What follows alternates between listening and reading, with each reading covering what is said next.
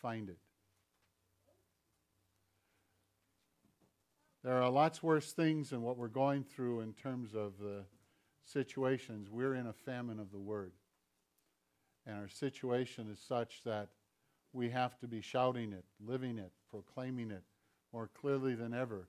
As schools command, you can't speak it, or you can't say it, or they hold you accountable if you want to read it out loud, or any number of things. There is a famine of the Word. And a famine means that people are starving because they no longer know what the Word says. They're no longer in the Word. How much of the Bible were you in all alone today, this week, this past 10 days? That you actually let the Word of God speak to your heart. Not some nice devotion book, not something else that you saw on YouTube. Just you and the Lord in the Word of God. There can be a famine in your own life of God interacting with you. It isn't that God doesn't use devotions and songs and other beautiful things, it's that sometimes we have drifted so far away from the Word, we are listening to what other people are telling us the Word is saying. And you can't let that happen in your life. You've got to understand. I always used in high school, it made everyone groan. It goes, I'll kiss your girlfriend, I'll let you know if she's a good kisser or not. The guys go, Oh, that's so gross. I said, Well, why wouldn't you do that? Well, because she's our girlfriend. I said, Good. I don't want to kiss her. What are you doing with God's word? What do you mean? I, are you reading it? No. Oh, you're going to let me read it and me kiss the face of God and Him hold on to me so I can tell you how great it is. Is that what you think is a righteous, reasonable thing to do? and you begin to understand, they would look at me and make that little transition and they would understand. It's pretty foolish to, for us to live like that. I said, God isn't angry when somebody else is helping you understand the Word. But when you're not alone with God in the Word, you're stealing from that intimate personal time that God wants with you. We are dealing with a starvation of the Word, and unfortunately, in many cases, it's in the church. And when the church or the pastors or the people sitting in the pews are not faithful, excuse me, faithful to it, there's a serious lack of that word in people's lives. And when that happens, your life begins to deteriorate and you begin to lose the very thing that God wants to give you. And that's reassurance and that's that personal intimacy, that's that personal holding on to you. And it's even not a quantitative thing. If you're in one verse and you let and meditate on that, and it's a verse that means something to you, I always go pick up a gospel, pick up something, start reading. When you hit a verse that actually has meaning for you, stay on that verse. Let God speak to you through that verse. And you begin to understand what God was saying through Amos a famine of the word, right in the middle of having the word in your house at your fingertips and yet never really reading it and allowing the intimacy of you and God to be there. Many, many moons ago, when there was only black and white, uh, I was moved by this video. I tried to find the modern ones, but there are some words that aren't used, and there's some context that's been changed. And if you've ever watched an old movie, Sometimes the older movies are far more faithful to the book than the new movies, who add a lot of fluff and a lot of things, and they drop things. So I'm going to show this to you. Please tolerate it from me. We're going to pray it works. I'll give them a little setup for you, honey, just a minute. And it is Martin Luther. He's standing before the Diet of Worms, Worms, in, in more properly pronounced in German, and the, the Pope and the King or not the Pope's representative and the king are there, and they want to kill him. They want to kill him. He's exposing their unfaithfulness to the word. He's bringing out into the open through his writings the things that they're doing wrong. And they want him dead. And so they're trying to trap him. And they won't let him share or argue his thoughts. They offered him two questions. Question one Are these writings that we put on the table in front of you? Are they your writings? Well, I, and he shut up. They basically said, We will only let you answer. Are these your writings? Yes or no? He goes, Yes, they're my writings. Second question. The question is Do you deny, reject, turn your back on these things? Or do you accept them and continue to support them? And then we get to the point in the movie where Martin Luther is standing there, knowing the sword is at his throat, not knowing, like you and I may know if we know the story, that a group of his friends end up kidnapping him as he leaves the, the diet there, the place where they were having it, and hiding him out so they can't kill him. And that's the setting.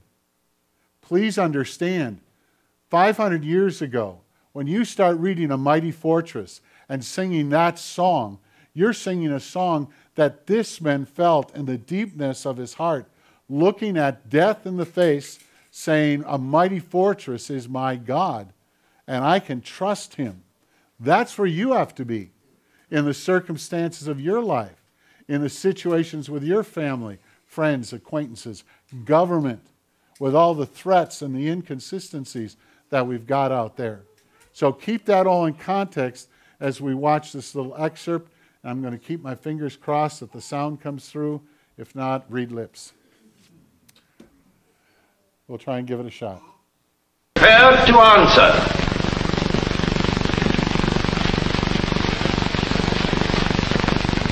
They gave him one more day. He leaves. This is his prayer. Música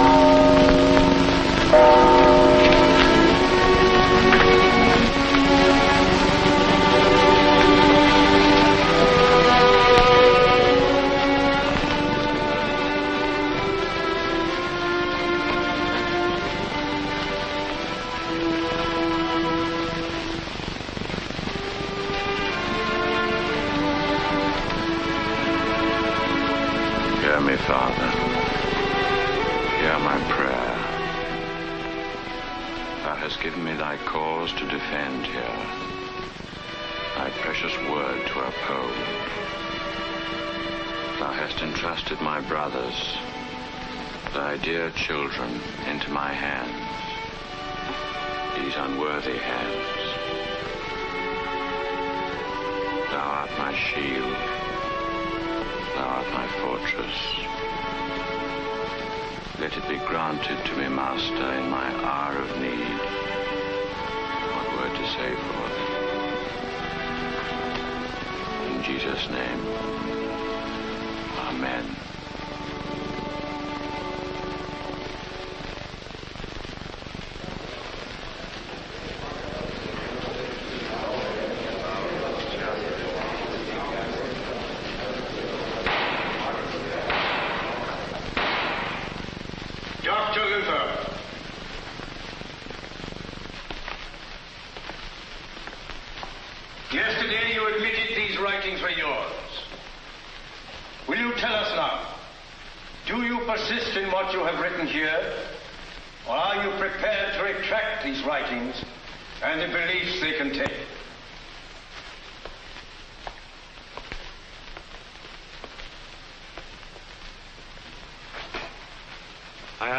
Pardon if I lack the manners that befit this court. I was not brought up in king's palaces, but in the seclusion of a cloister. I am asked to retract these writings, but they are of different kinds. In some, I discuss faith and good works. If I were to retract these, I should be denying accepted Christian truths. In others, I attack popery and assail men who have afflicted the Christian world and ruined the bodies and souls of other men. If I were to retract those, I should be like a cloak that covers evil. Most serene Emperor, illustrious princes, noble lords, I am only a man and not God. But I must defend myself as did Jesus Christ when he said, as I say now, if I have spoken evil, bear witness against me. In my 12 year old mind that has uh, bore fruit all my life. Uh, simply because I could hear it, and the, the, obviously the, the whole movie is uh, lasts an hour and 10 minutes or whatever it lasts, and this is kind of the near the end at this point, but where he uh, recognizes I cannot and I will not, because unless Scripture tells me otherwise. That's the kind of courage is going to be required. That's kind of determination. And so when we start reading and understanding these passages, I want you to turn now, if you would, to Matthew 11, because we're going to be working in there. And I started in Matthew 11 at verse 12, simply because I didn't want to go back and explain everything else before it. I'd run out of time. From the days of John the Baptist until now, the kingdom of heaven has been forcefully advancing. That man was demonstrating forcefulness. What was he bringing? The true gospel. It will not be silenced because brothers and sisters, men and women, are willing to stand their ground against, in this case, political forces combined with religious forces and unwilling to compromise. And it's what is needed in His church, in our families, in our relationships, even now, because we're finding ourselves far too willing to compromise and quit. And that becomes where you begin to understand this. And finishing the thought up again back in Matthew, it goes, uh, is forcefully advancing, and forceful men are laying hold of it. And then it goes on, and you begin to understand. Luther grabbed hold of the gospel and he said, I will not recant. I cannot change this. I will not go in a different direction. And he stood his ground. There was a forcefulness without the fisticuffs, but there was a forcefulness that you all could see. You could see it in the intensity of his face. And I remember seeing it as a kid and understanding what he was doing, what it was going to take, the courage it took for a man to stand up against the political powers that had life and death over him and say, I will not recant. I will not change. I know who my God is and I know who I am trusting in. And so that's that concept of understanding that this thing is moving forward and there's a forcefulness of the kingdom of heaven. It will go into men's hearts. It will shout in the middle of communist countries. Why is it socialists hate the Bible? Why is it communist countries hate the Bible? Why is it you're under attack because you're Christians? What's unique about your belief? You have an unbelievable force behind the truth of the gospel and the word of God that shuts the mouths of the wickedness and the foolishness of the socialists and those in governmental positions who are trying to tell you how to live and what to do. And in your mind and your heart, you're living by a totally different set of voices. You're hearing something very different. And you understand, even if you stand over me with the authority of life and death over me, I will not recant. And so you begin to understand the significance of the Reformation, the significance of the courage of one individual. I've been reading about how if just one person, just one person, begins to stand up, sometimes it'll open the floodgates for all those around them. You usually see it work in an evil way. One person starts to belittle, mock, or make fun of, and the wicked people grab hold of that. But just like you saw with the little ones up here, they stood up. One person said, You can't do that to my sister. And when she needed help, she got more help. And when they needed help, they got more help. That's the call upon the church. That's where we're being called to walk and live and function. And we need to understand the significance of this because it goes on from the days of John the Baptist until now, the kingdom of heaven ha- has been forcefully advancing, forceful men take hold of it. And it goes, For all the prophets and the law prophesied till John, and if you are willing to accept it, he is the Elijah who is to come, who has ears, let him hear Listen to it. The answer is they don't want to hear. They don't want to play. They don't want what you have to say. Why? Because it breaks the back of communism. It breaks the back of dictatorships. It breaks the back of the woke culture that wants to destroy you because you said one wrong word or expressed it in some way they've determined is immoral. They have no idea what grace is. Sola gratia, grace alone.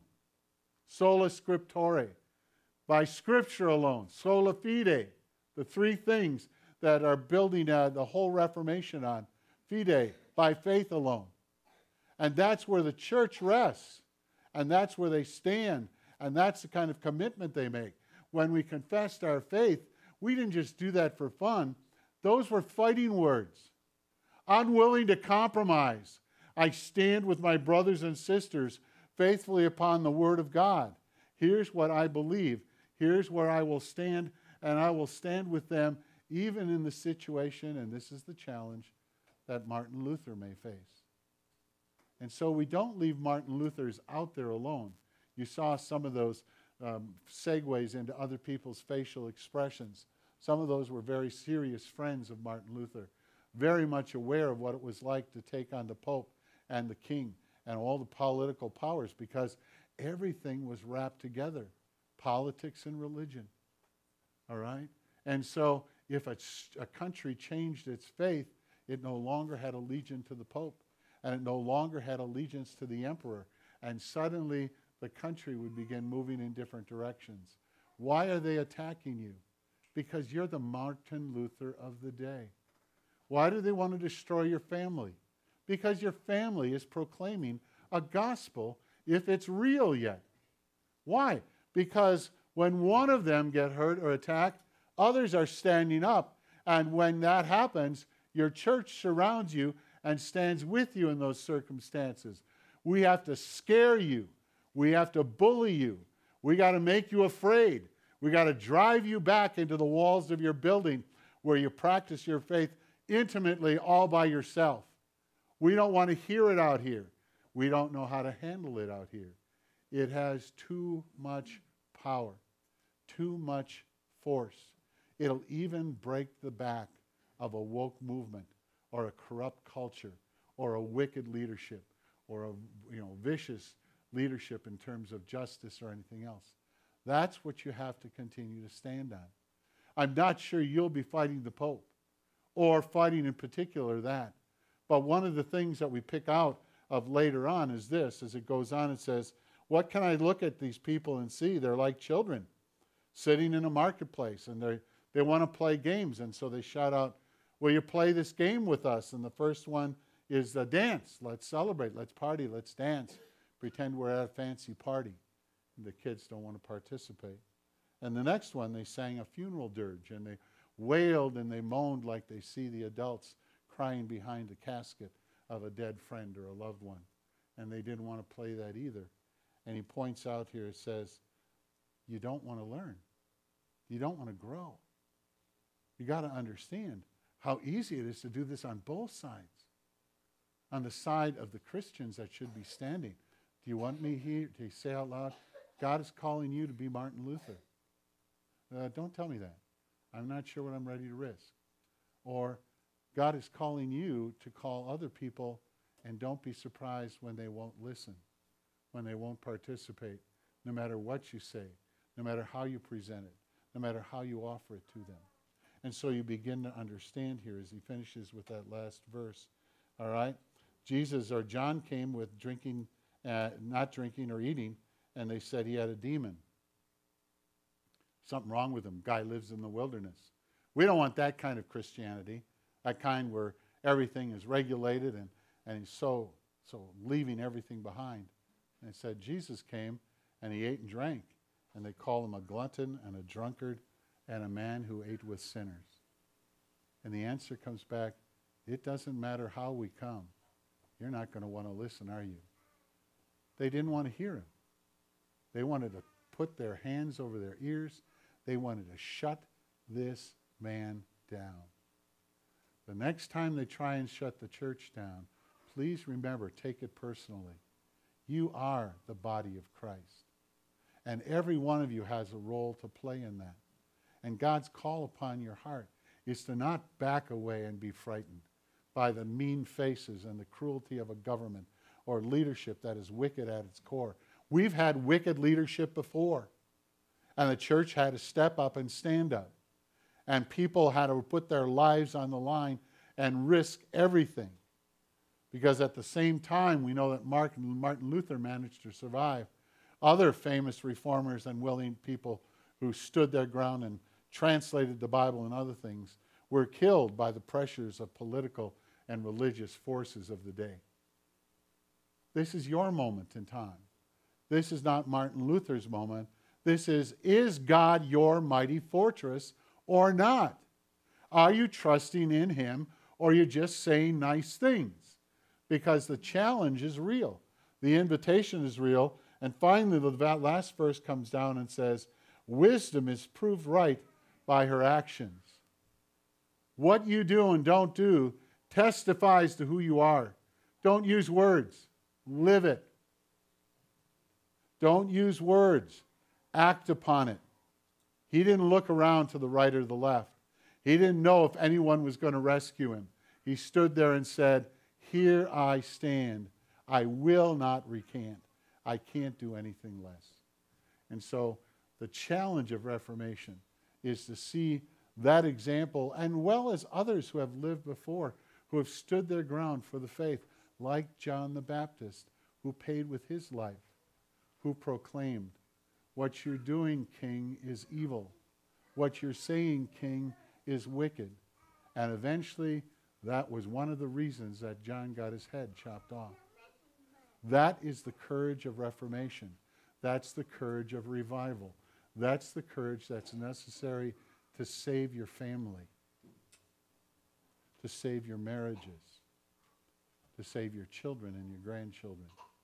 That kind of courage as only comes from your confidence and intimacy with your Lord and Savior Jesus Christ and by the power of the Holy Spirit being intimately in your life. Pray with me if you would.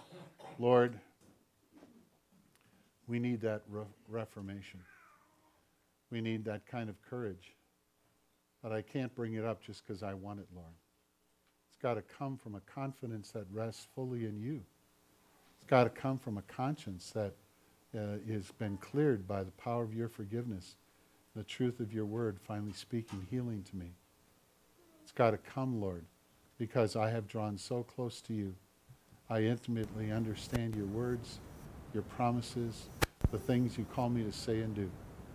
And like Martin Luther, who stood on your word without anyone around him at the time, that's the kind of place we need to be able to stand. So come and work that in our lives, Lord Jesus, until we honor and praise you in every situation. We pray this in your name, Lord. God's people say, Amen.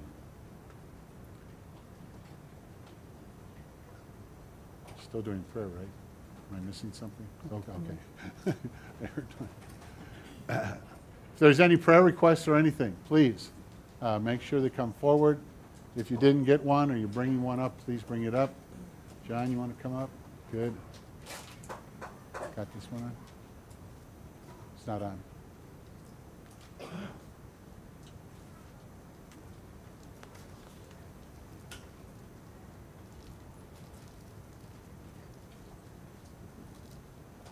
Not going to go on either. There you go. Good.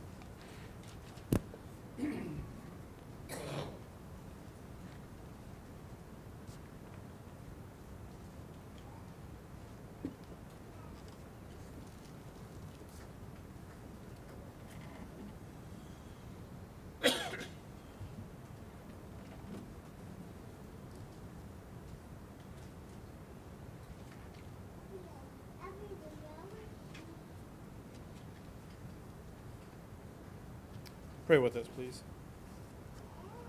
Heavenly Father, we come to you. You ask us for our petitions, and we're bringing them to you. You are God. You are the God that, as we confessed earlier, that created, spoke everything that we know into existence.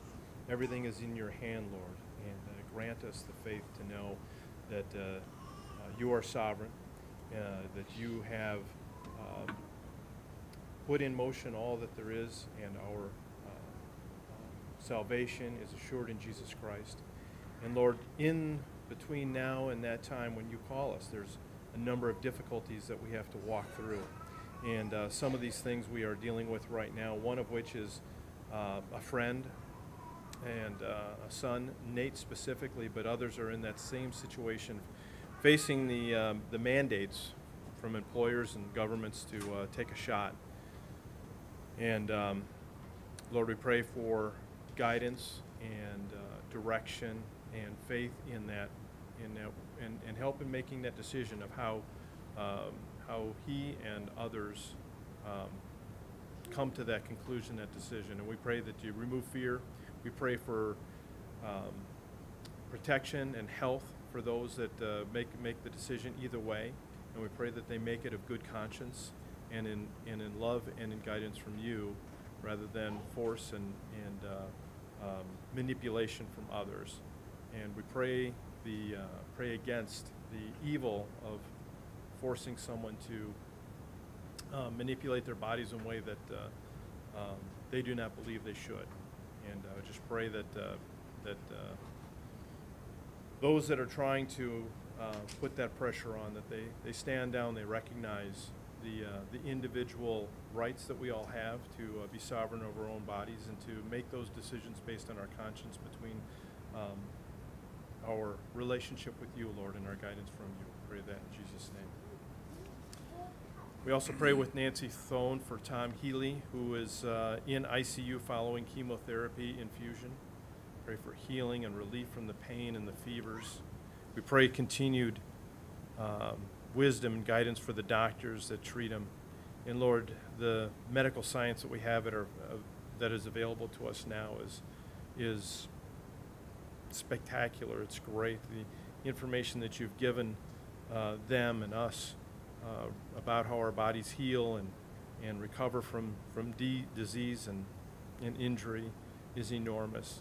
Um, but we don't always know exactly which way to go. And we just pray for that wisdom for the doctors. We pray for uh, faith for Tom, that no matter where you guide him, where you bring him, and if ultimately you bring him home, Lord, that he steps through that, that gate uh, in celebration.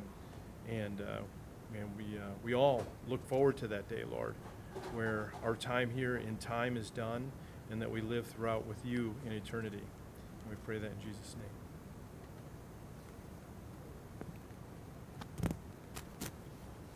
And I pray, Father, for uh, the work of healing that needs to be done in all of our lives, some physical, much of it spiritual. Pray over our children and our grandchildren, Lord, a, a powerful healing spirit. I rebuke anything that's trying to destroy them or the value that they have before your kingdom or the beautiful words you want to speak to their heart and the preciousness of who they are as yours. I pray against the bullies that are around us in our own lives. I pray against it first in our own lives if we try and bully others. But ultimately, Lord, I pray for the kind of courage that even the children were able to demonstrate and stand against and shout down.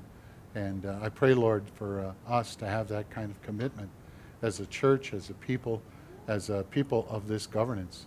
I ask, Father, that uh, you would either bless leaders and empower them and uh, make them wise to follow you with their whole heart, or remove them do whatever is necessary, Lord, to bring about uh, the cleansing and the clarity and the healing of this nation. Help us to be a part of the solution, not a part of the problem. And teach us, Lord, how to stand together. Teach us, Lord, what it means to have harmony in the body. And just show us your ways, Lord. And fill us with hope and conviction and at the same time, great joy, Lord. I pray that we would walk with you in integrity. I pray that we would have the gospel upon our lips I pray that it would bring healing and purpose and confidence in our hearts and lives, that we, Lord, would be people of the Word, people of the gospel, people of the truth, Lord Jesus. Come and teach us how to be that. We pray this all in your name, and God's people say, Amen. As we get ready to close for the last song, Notice the phrasing of the last song, He Will Hold You Fast. It's important to remember uh, you don't hold on to God, God holds on to you. You can tell him to let go. You can force him to let go. But he won't. He doesn't want to. So you've got to understand the significance of he will hold you. And that's where your trust is. I trust in the strength of my Lord Jesus, not in my own. We sing this last song after the blessing. Now may the Lord bless you and keep you. May the Lord make his face shine upon you and be gracious unto you. May the Lord lift up his countenance upon you and give you his peace. Amen. Mm-hmm.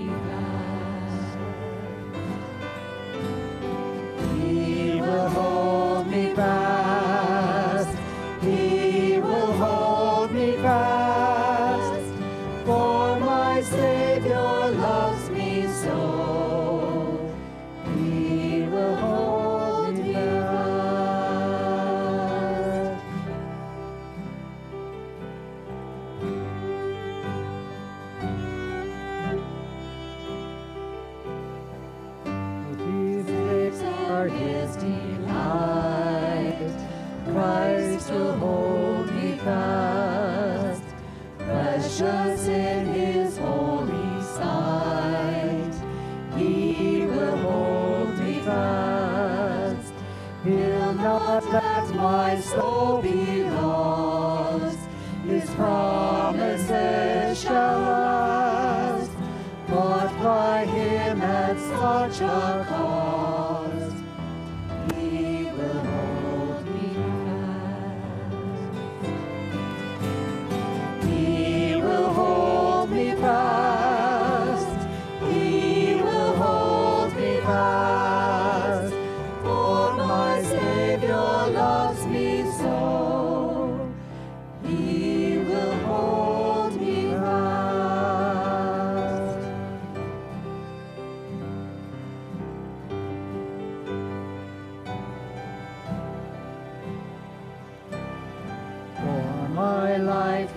he